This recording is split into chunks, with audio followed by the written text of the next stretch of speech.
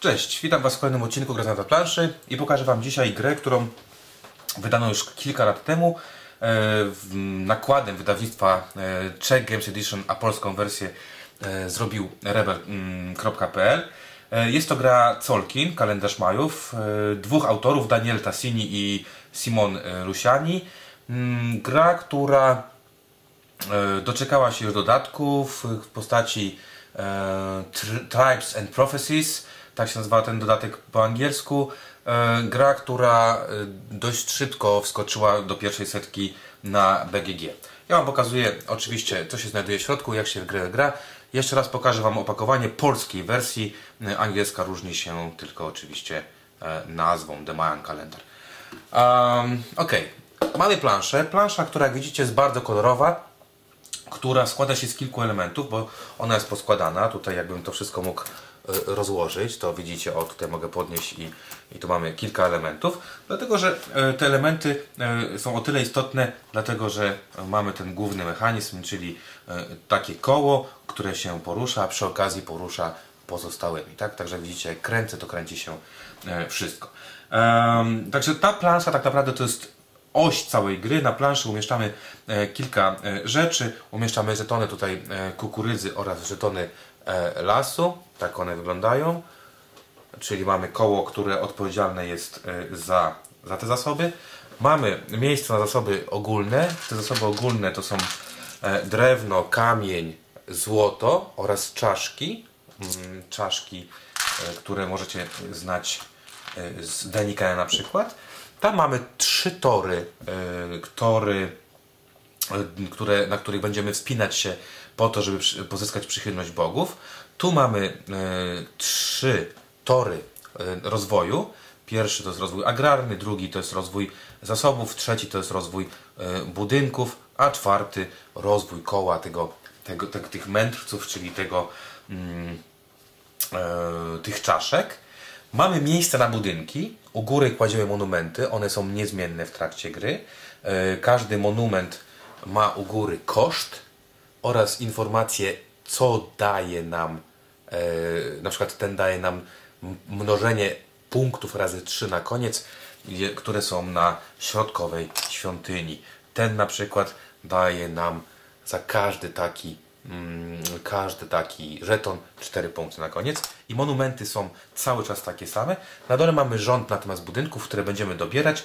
Mamy tam dwie, e, dwie talie, czyli talie jeden, jedynek i dwójek. Akurat ja rozłożyłem tutaj dwójki i też u góry mamy koszt, a Tutaj mamy informację, co się stanie. Czyli jak to za, za, to zapłacimy, podnosimy się na dwóch świątyniach i przesuwamy się o jeden na torze rozwoju technologii. Tutaj na przykład mamy informację, że w momencie karmienia nie będziemy musieli karmić aż trzech swoich, e, swoich e, robotników itd., tak itd. Tak Także mamy to miejsce. E, każdy z graczy dostaje komplet takich małych znaczników. Te znaczniki umieszczamy na zerze tutaj, na zerowych miejscach w świątyniach oraz na zerowych miejscach w technologiach.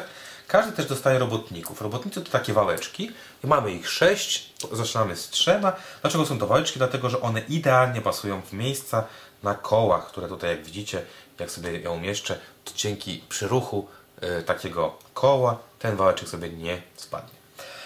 E, każdy z graczy otrzymuje informacje e, taką kartę pomocy, czyli jaki jest koszt wystawienia robotników, e, kiedy, co się dzieje, czyli kiedy otrzymujemy zasoby, kiedy zmieniamy budynki, kiedy jest karmienie. Ona jest dwustronna. Dlaczego? Na chwilę o tym powiem. I tak naprawdę, jeżeli chodzi o przygotowanie, to jest jeszcze otrzymujemy na początek takie cztery płytki. One, one są w sposób losowy wybierane przez nas. I na początku gry musimy wybrać dwa z nich. Na przykład ten daje nam od razu dodatkowego robotnika. Ten daje nam po jednym zasobie e, w postaci skały i złota, a także ruchu na pierwszej e, technologii. Także mamy tu różne rzeczy. Możemy mieć tutaj kukurydzę i tak dalej, i tak dalej.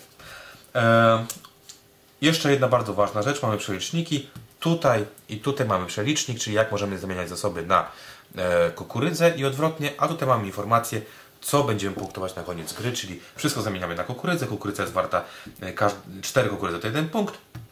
Każda czaszka, którą będziemy mieć, to 3 punkty i punkty z budynków, które tam będziemy e, czasami jakieś otrzymywać. O co chodzi w grze? W grze chodzi o to, żeby zdobywać jak najwięcej punktów.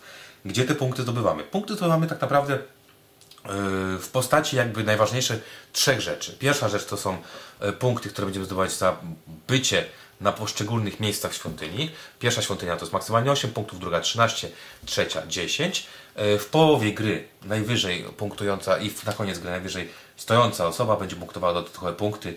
E, najpierw ta punktuje dobrze, ta zielona punktuje tak samo w obu miejscach, a złota punktuje dobrze lepiej na koniec gry, a nie w połowie. Będziemy otrzymywać punkty za, za dawanie tych, tych czaszek tutaj do bóstw, czyli od 4 do 13 punktów możemy otrzymywać. Będziemy też otrzymywać punkty za e, monumenty, które, które Wam pokazywałem już na przykład. Yy, jeszcze raz pokażę może ten na przykład teraz.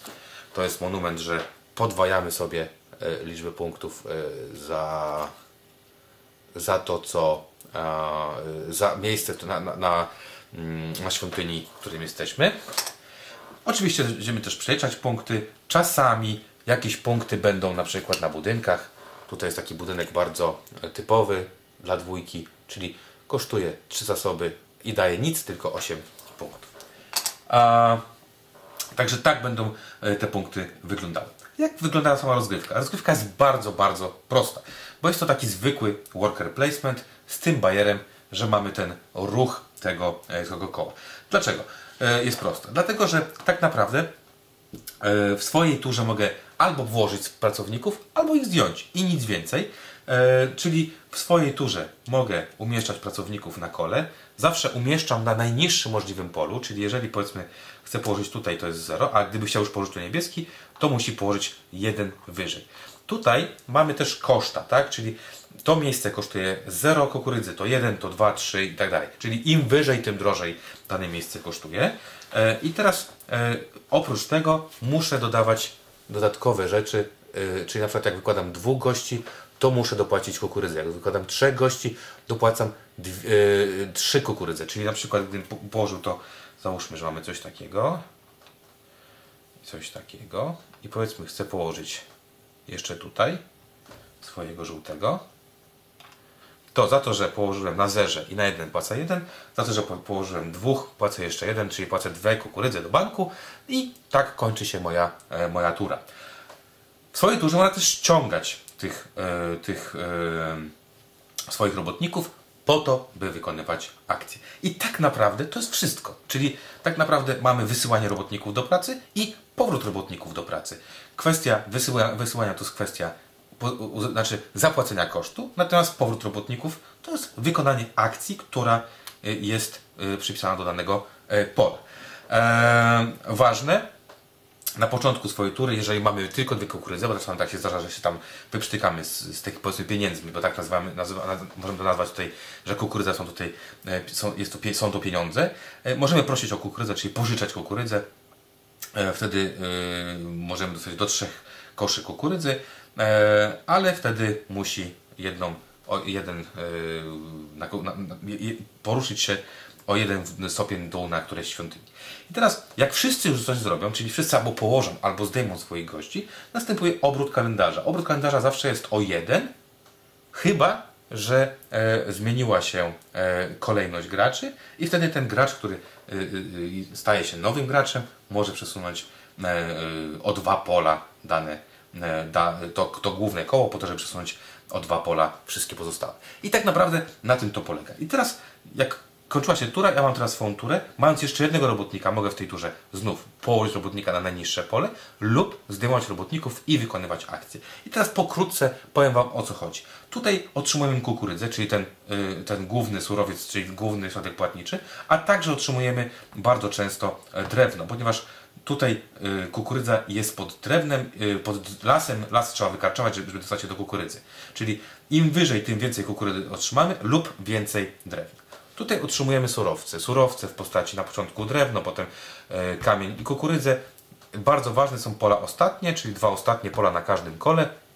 Można wykonać dowolną akcję z wszystkich, które są na kole. Czyli jak dojadę aż tutaj, to mogę wziąć dowolną akcję stąd. Jak dojadę tutaj, mogę wziąć dowolną akcję stąd. Tutaj natomiast mamy e, akcje powiązane ze świątyniami, z budynkami oraz torami tej technologii. Dlaczego? Tu mamy dwie możliwości poruszania się na torach technologii. Płacimy zawsze za to surowiec, jeżeli się poruszyć na pierwsze pole, dwa surowce na drugie pole, trzy surowce na trzecie pole. E, Co te pola nam dają? Tutaj za każdym razem, jak będziemy brać kukurydzę, będziemy ich brać więcej. Za każdym razem, jak będziemy brać jakiś zasób, będziemy go brać więcej. Za każdym razem, jak będziemy budować bu- budynek, to albo dostaniemy kukurydzę, albo będziemy dostawać punkty, albo będziemy go robić taniej. Tutaj za każdym razem, jak będziemy coś robić na niebieskim kole, będziemy mieć zniżki lub ułatwienia. E, oprócz tego na tym kole będziemy mogli budować budynki, czyli robiąc tutaj mogę zbudować jeden budynek, tutaj dwa budynki albo monument. E, I teraz ważne, żeby zbudować budynek muszę oczywiście zapłacić dane e, surowce. Mogę też płacąc dowolny surowiec poruszać się w, górze, w, w górę o jeden stopień na dwóch różnych świątyniach. To jest takie koło trików. Koło trików polegające na tym, że mogę e, za kukurydzę poruszać się na e, świątyniach, zamieniać kukurydzę w e, surowce zgodnie z tym przelicznikiem, dokładać nowego robotnika, płacić za, za budynki także kukurydzą. Fajne tutaj, płacąc kukurydzę, wykonać dowolną akcję z kół wszystkich oprócz niebieskiego i wykonać dowolną akcję z wszystkich tych kół. Tutaj natomiast po prostu mając czaszkę, jeżeli dojadę na jakieś pole, mogę położyć czaszkę, otrzymać punkty, które tutaj są, w tym na przypadku 7 i poruszyć się na świątyni. Najpierw trzy pierwsze pola to brązowa świątynia, potem zielona świątynia i świątynia złota. E, także tak wyglądają te akcje. Jak widzicie, one są bardzo, bardzo e, proste. E, Kwestia jest tak jakby kombinowania wszystkiego pomiędzy tym, czyli y, czy co chcę robić i tak dalej. Koło podzielone jest na cztery części i jak dojedziemy do, do momentu, w którym koło jest tutaj, następuje karmienie ludzi. Każdy człowiek musi być wykarmiony. Każdy je dwie kukurydze. Jeżeli ich nie mamy, to tracimy punkty. Czyli jeżeli nie, nakarmimy swoich, swoich ludków, to tracimy punkty. Druga rzecz, w tym przypadku otrzymujemy surowce. W zależności od tego, na którym poziomie jesteśmy świątyni, będziemy otrzymywać surowce. Brązowa daje kamień, złota daje złoto, natomiast zielona daje drewno i na tym prawie przedostatnim polu daje też czaszkę. A w połowie natomiast będziemy otrzymywać punkty, punkty zgodnie z tym, e, jakie zajmujemy miejsca na, e, na świątyni, a także oczywiście będziemy musieli karmić swoich ludzi. Czyli to karmienie jest tutaj dość e, istotną kwestią, dlatego że ono zabiera nam dosyć punktów. Jest jeszcze jedna bardzo ważna rzecz, mianowicie jest tutaj pole pierwszeństwa, czyli e, za każdym razem, jak ja powiedzmy jestem pierwszy i nikt nie zabiera mi pierwszeństwa, kładziemy sobie tutaj jedną kukurydzę, drugą kukurydzę i tak dalej, tak dalej. Jak ktoś zabierze mi pierwszeństwo, to zabiera mi taki token pierwszego gracza, może poruszyć koło e, o dwa razy, czyli może zrobić takie coś i tutaj mam naznaczone, że już nie możesz tego, e, tego zrobić i zbiera każdą kukurydzę, która tutaj leżała, czyli im dłużej ktoś jest, tym więcej tej kukurydzy się nazbiera. E, Gra tak naprawdę, jak widzicie, jest bardzo, bardzo, e, bardzo prosta, bo tutaj nie ma co mówić, że, że akcje są skomplikowane. Bardziej tutaj chodzi o takie wyważenie, kiedy kogoś ściągnąć, kiedy coś zapłacić, kiedy e, coś jakby mm, e, zdjąć i tak dalej. Ważna jest jeszcze jedna rzecz, którą zapomniałem powiedzieć, mianowicie, jeżeli nie ściągnę swojego pracownika i przejdzie on te ostatnie pole, tak jak tutaj, to spada. Czyli nie wykonałeś akcji, przejechałeś całe koło, to e, niestety straciłeś możliwość i e, jakby spadasz i nie możesz nic więcej zrobić. Także Tolkien jakby w samym tym, z czym on jest, jest to gra bardzo prosta. Łatwo się jej nauczyć, łatwo ją zagrać, ale tutaj już trochę będę mówił o tym, co będziemy mówić w recenzji. Jakby wejść na poziom bardzo wysoki, to nie jest yy, bardzo, bardzo łatwe. Także tak wygląda pokrótce gra Tolkien. A ja Wam dziękuję za obejrzenie e, filmiku i oczywiście zapraszam Was na kolejne i oczywiście zachęcam Was do tego, żebyście posłuchali recenzji, która będzie w następnym e, filmiku. Ja ze swojej strony dziękuję. Do usłyszenia, do zobaczenia w następnym odcinku.